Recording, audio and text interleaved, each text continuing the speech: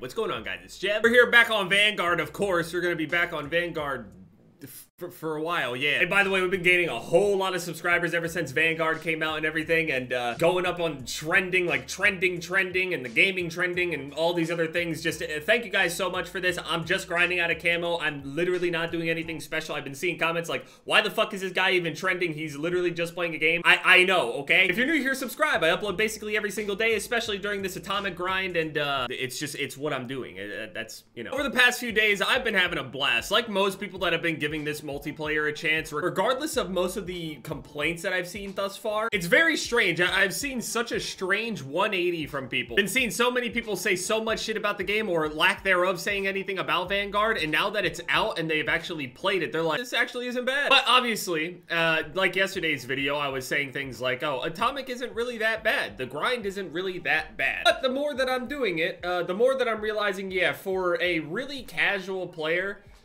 this game might be a little bit of a lot. Like, obviously, if you're the average player, you got work, you got school, you got all this other shit, if you have to invest who knows how much fucking time into getting this camo, just this one camo. Really, it, it is a lot. It really is. Now, obviously, we would want there to be something that has some sort of merit to it. We don't, we wouldn't want it to be easy, but I also, you know, do feel it for, you know, overall casual player. And maybe the most casual of the most casual just don't even give a fuck about getting the camo anyway. But you really don't have that much more to do outside of the camo for a lot of this stuff. We need a Haus playlist, please. Das Haus, please, repeatedly, over and over and over again until we get shipment. I'm telling you right now, hey, I'm doing all this lobby shopping now, just sitting here picking through all of these maps. But as soon as it's shipment, I'm staying there. Uh, again, it's my retirement home. So obviously, in great Call of Duty fashion, a lot of people sit around and they think that whenever I make these titles on these videos, I'm not somewhat purposefully doing it and naming it that way, you know what I'm saying? I make a video that says the atomic grind isn't that bad,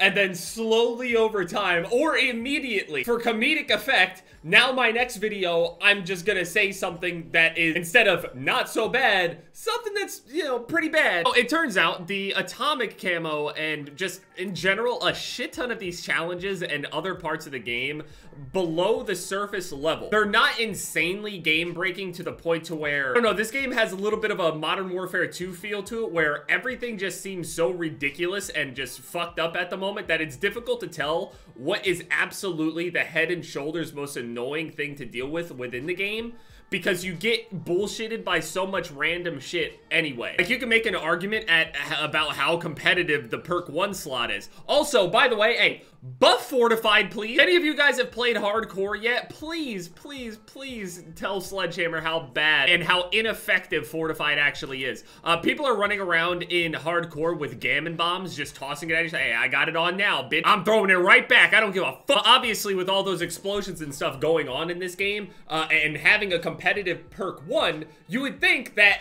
when you give up all these crazy perks like Ghost, Tac Mask, Ninja, all the things that compete all together within this first category, you would think that when you pick Fortified, you would actually I, don't know, be protected against explosives. It reduces damage by 15%. That is not enough. I know that it says it increases the resistance if you're crouched, but I don't have time to crouch. It's not like I have time to react to a gammon bomb. They just throw it at me. Hardcore is just riddled with people just throwing gammon bombs at each other, um, and there's nothing to counter it because Fortified doesn't do enough. Damage reduction is doubled while mounted, crouched, or prone it should just be more than 30% straight off. It should honestly just be a hard cap the same way that EOD works, at the very least. If there's an explosive that's going to kill you just outright, make it so the explosive can only do like 70% of its actual damage to a player that hasn't been hit by explosives already. It's the same way EOD works. They need to add a uh, damage cap especially in hardcore. Buff snipers, buff snipers, buff snipers, buff snipers, buff snipers, buff snipers, buff snipers. Uh, they are outclassed by everything in this game. Uh, even if you go and play like 6v6, if you're playing tactical, or the way that the maps are on this game, it's just not really that great. Uh, especially leveling it up. Even when you go and get the attachments for it, sure, yeah, it's the best that it can be,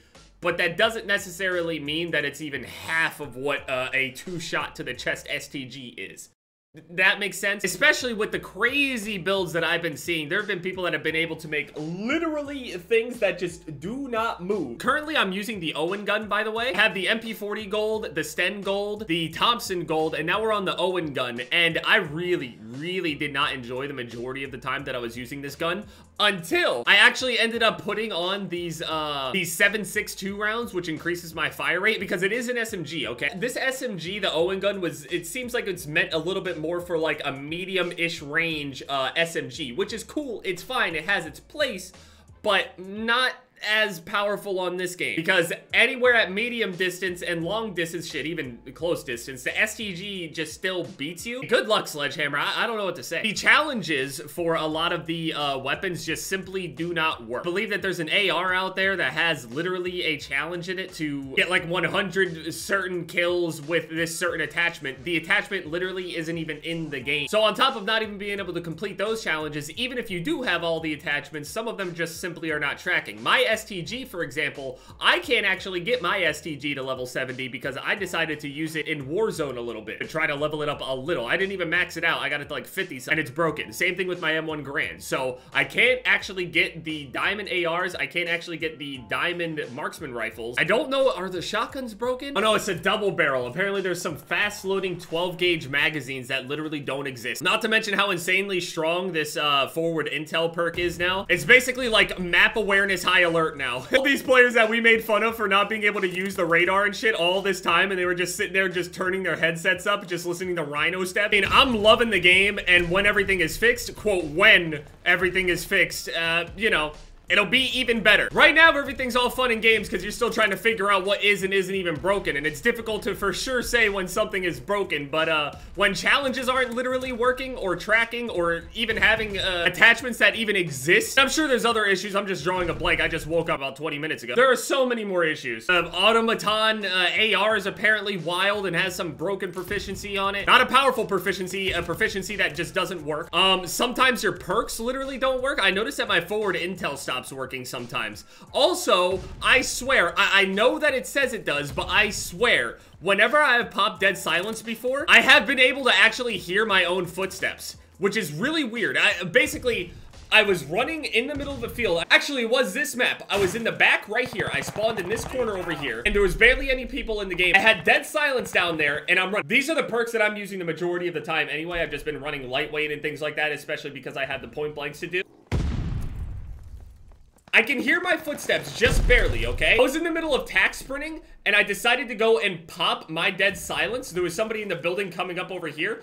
I popped dead silence, and I swear to you, my footstep audio didn't change at all. Also, you can make the argument that maybe Ghost doesn't even work when you pop this. I've heard other people go and say that cold-blooded works whenever you use it. It's so weird. I don't know. Things are broken. Things are fucked up. Uh, the great thing about this game is that the spawns aren't so fucky to where the forward intel just makes more sense. If they had forward intel on these Call of Duties with shitty spawns, it wouldn't be nearly as bad. Luckily, the spawns on this game are pretty good. Especially in Domination, you can actually hard spawn trap the shit out of teams. That means those are good spawns. Being able to spawn trap is a good thing. The basis of playing Domination with the other team is literally getting a hold of the two best flags where you'd be able to spawn trap them in the worst position they could be in. That's literally the objective. You play the objective by killing everybody. You get the two flags, A, B, trap the shit out of them at C for the remainder of the game. That is how it has worked since the dawn of time. Recently, we started getting into these games where you could literally be looking near a flag over there and they're flipping already. They're spawning in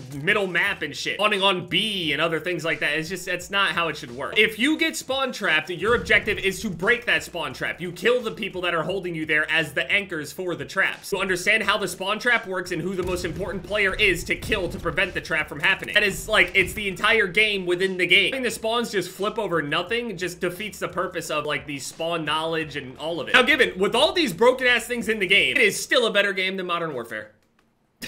I know those Modern Warfare players are gonna get mad that like, dude, why every single chance that you get, you just go and take jabs at Modern Warfare. We get it, dude. You don't like the game. I'll do that when you stop saying ratio to me, okay? Good luck with that one. I do absolutely love the fact that Ghost competes with all these other things to the point to where uh, so many people are just not running Ghost at all. So I don't know what it is, but the lobbies, the, the game chats are just Man, I have heard so many words. Uh, people are fucking losers, man. It's uh, it's pretty incredible. So this will be done, and then I've heard good things about the Type 100. Type 100 is next. I could probably do the Type 100, and I mean, depending on how good it is, I could probably blow through it. I blew through the Thompson It's how I was basically almost able to finish the Owen gun. I crushed the Thompson. The Thompson was probably, honestly, my, the Thompson's probably my favorite gun in the game. Not saying that it's better than every other weapon or whatever, stacking it up, but the feel of the Thompson, I fucking loved it. Loved every form of the weapon that I built on. I used larger caliber rounds. I used the smaller caliber ones. I used the defaults, the long barrels, the short barrels. It's 50 rounds, which is just so much better than having to worry about killing two, three players and then having to reload. You must reload. I mean, obviously, the game is